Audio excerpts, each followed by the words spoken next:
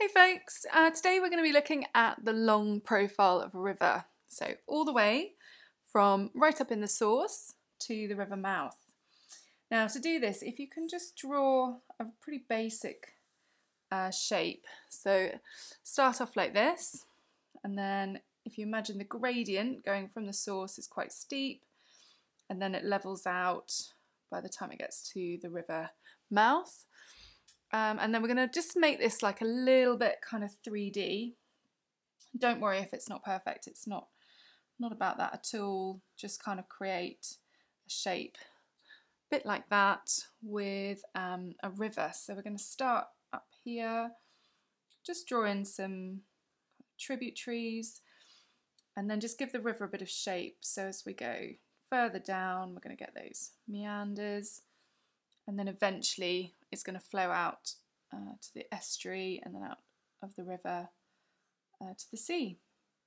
So yeah, something kind of a little bit like that, if that makes sense. I know that's the river there, but we'll just just dot that across. So then we're going to split it up into sections. Now to do this, if you just do some uh, kind of dashes down here, like that, and then take it across as well and then again a bit further down. So what we're doing here is we're just kind of separating our upper course, our middle course and our lower course. And really don't worry about the shape of your river or anything like that because this is an overview of this kind of long profile um, and the kind of landforms and the things that are happening along it. Okay, um, we've got this clear sign of gradient um, and we also, I suppose we want to label those. Let's do that first. So if we put upper, upper course over here, and then middle course, they're quite easy, the words to do with rivers. They all kind of make sense. They're just, there is quite a lot of um, terminology, quite a lot of new keywords with this one. Now, if you're studying AQA GCSE geography, you'll need to know that this is uh, rivers is always in the exam. It's one of um, the sections that it is technically an optional section, but it's if it's if it's one you're taught, it's always there. So there's coast, rivers, and glaciation, and most schools will do coasts and rivers. So yeah, rivers is a really important one. So let's have a look. We've got um, right up here. If we draw an arrow, the source of the river. Now, most rivers not not every single river, okay, but most rivers will start up in the highlands. And for most rivers in the UK, we, it's kind of boggy, kind of marshland um, uh, or moorland. It's it's a sort of sponge-like ground, uh, and it holds a lot of moisture. And from that, you get these tiny little sort of tiny little streams uh, starting, and then eventually uh, a main kind of river will form. And as you go down, you'll notice this area has quite steep gradient. Now the word gradient is to do with height of the land, so it's quite steep here, and then it basically becomes more gentle, and you can actually use that word, so gentle gradient in the middle course. And then by the lower course, it's generally pretty flat, um, maybe just a few metres above sea level, but yeah, pretty flat. And then as the water from the river finds its way to the sea, uh, this is what we call the river mouth. Okay, and that can be in an estuary, it can be that it just literally meets the sea um, and flows out that way. Uh, but yeah, sometimes we can see an estuary there. So what we're going to look at today is some of the landforms that you might find at different places. So starting with the upper course, if you just put a little bullet point in here um, and write V-shaped valleys. These are very often found um, kind of in this area uh, where these little uh, smaller streams are gathering and carving through the landscape. And what they look like, you can draw some to the side. Um, is they look kind of a bit like this. Um, there we go. So you can can you see the V in the in the shape? There's a V. There's a V. So it's that kind of V shape. I'm doing it with my hands, but yeah, the V shape that um, we're talking about. Okay, and that's because if we draw this kind of box like this, the if we did a little cross section of the river at this stage, uh, it would look kind of like this. So it would have a really narrow and very sort of thin channel. So there would be steep sides, okay, steep sides like that, and a thin, I mean in places you just step over it, it's that thin, um, but a thin and shallow channel. So you could walk around in it, you could have a look at the river load. You might also see, you know, the kind of boulders and um, bigger, bigger pieces of sediment. This is also the place where we find waterfalls, okay, with those steep sides and gorges uh, that are left behind by the waterfall. Uh, we also might find rapids where the water's moving quite quickly over uh, the river load.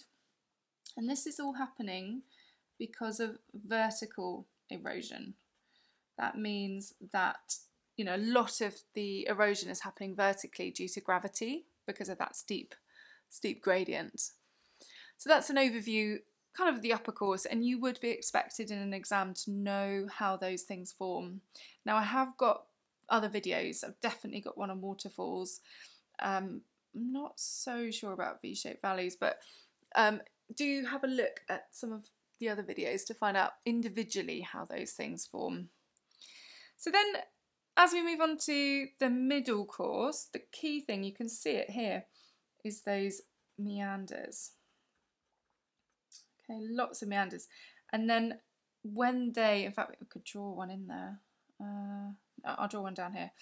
Um, when they are very, very pronounced meanders, so they're very, very tight at the neck, they can leave behind an oxbow lake.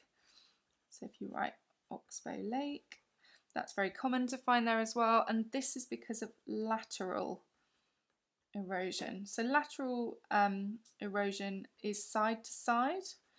Okay, so it's happening uh, kind of like left and right, if you imagine, rather than vertical erosion, which is happening, you know, um, down, downwards. Now I'll do a little drawing like I did for the V-shaped valley. So we'll do a little drawing of a meander. So this is the river. You draw it kind of like this. It's quite, the neck of the meander is quite close together. Okay, so imagine that is uh, the meander. And then basically, over time, what would happen, so if we just draw that on a bit, what would happen is the river would cut this corner and the flow of the river would leave behind this Oxbow Lake, so it would end up looking kind of like that and the river would carry on its course. And eventually, that Oxbow Lake will just dry up. Um, it will, yeah, eventually it will dry up. But rivers are dynamic and amazing, and they're changing all the time. So you can find these Oxbow Lakes, you know, along all of the world's rivers, really. Um, but some you can see evidence from satellite pictures of them dried up. You can see new ones. You can see the movement from above. It's Absolutely fascinating. Um, and then let's do the cross section as well. So you notice I've made it a little bit wider this time because there is a kind of more gentle slope. The channel itself is wider and deeper. So everything's everything's a bit wider and deeper. I'll just colour that in. So this is like a slice through the river, basically. So we want to say a wider channel.